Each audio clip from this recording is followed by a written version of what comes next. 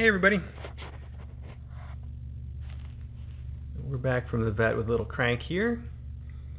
And uh, the short story is that, that she, I don't know, she took some kind of a tumble in her room. We don't know exactly what. And so her left, um, her right shoulder is, uh, is hurting her quite a bit. And uh, the doc gave us some pain meds for her. Tried to get some x ray imaging, but couldn't really see anything there. So we're going to just keep her on the pain meds and see how she does. And if she's not getting better, then we'll try again. But I think she's going to be fine. I don't think there's anything else for us to worry about. She just needs a couple days to recover. Just made herself a little bit sore, that's all. Happens to kittens all the time. And uh, until then, we're going to probably keep her up here in the spa, or at least keep her away from her mom one way or the other.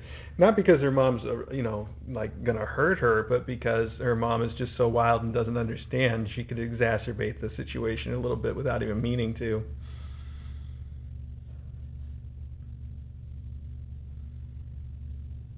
She just had a little bit of chicken baby food, and now she's going to relax and keep the weight off for a little while.